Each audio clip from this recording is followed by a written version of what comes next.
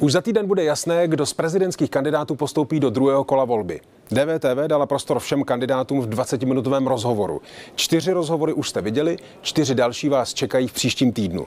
A ten devátý vám nabízíme právě teď. 20 minut pro prezidenta Miloše Zemana, který mandát obhajuje a který rozhovor pro DVTV odmítl. Jeho mluvčí Jiří Ovčáček nám sdělil, že pan prezident má desítky žádostí z českých i zahraničních médií o rozhovory a proto si na DVTV čas neudělá. Přesto mu stejně jako ostatním osmi kandidátům na post prezidenta České republiky poskytujeme 20 minut pro případný rozhovor.